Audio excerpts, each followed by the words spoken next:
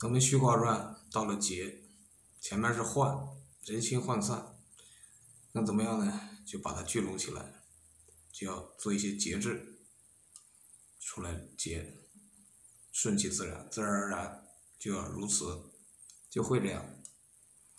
那节还代表忠孝节义那个气节，你凡是跟节有关的字，节止，那都行。其实不相关的也都可以延伸了，只是说这个更直观一些。那易经它无所不包嘛。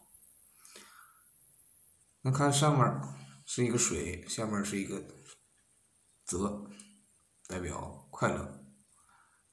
但是你一开始就高兴呢，难免高兴的太早，看艰难险阻在前面等着你。水又代表财，又告诉你要节省，那都是这个意思。说亨通，因为你节约嘛，你可以用的时间很长，但不可真。就你长期，虽然说是一个好的习惯，但是你不能老是节流不开源呢。那就这么说。初九，当然好，因为它当位。那乾卦乾隆无用，就告诉你。啊，你不要太着急，先节约，先节制自我，就是了。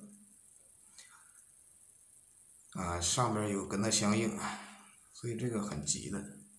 那九二不出门听凶，怎么搞的？九二通常是急的，九五当然更急，凶居然。那我们来看看，虽然他是中位。但是，一不当位，二上面有个阴，也是不当位，居然跟他啊承驾于他之上，他居然衬托阴，可见这又多了两凶。其次，呃，跟上九啊这个九五又不相应，所以是除了中位，它没有什么好的地方都。也就是说，九二本来是见龙在田，应该出门的，但是处处是坎儿，那出来也没用，那所以这个阶段就只能是坚守正道，啊，阴一点柔一点等待时机，不要太激进。六三，按道理六三是。最凶的，他这说了个无咎，其实就是让你自我反省。人到了低谷，你看他成了个阳，本身不当位，这就是辰犯君，七君往上，跟上九上六又不相应，又在三爻多凶的位置，所以说已经产生结果了。你笑到最后已经哭了，没什么可笑的了。只剩下了空空的哈哈哈，所以呢，就告诉你，这个时候人飞到痛到极处，他不知反省，啊，我们是这样理解的。六四就非常好了，啊，它衬托一个阳爻，然后同时阴跟阳又都到位，又跟下呃初六这个初九啊。相应，所以说非常好。六四扩囊无咎嘛，就是说安节亨，差不多就这意思。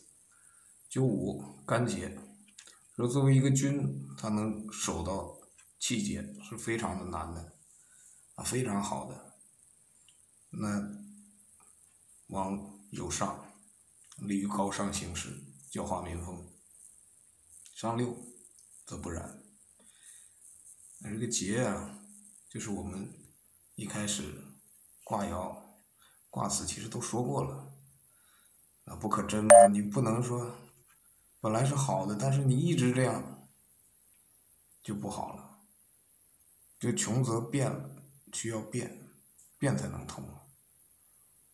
你光节省，该花的不花，该做的不做，那就不好了，就行不通了嘛。孤家寡人一个，但是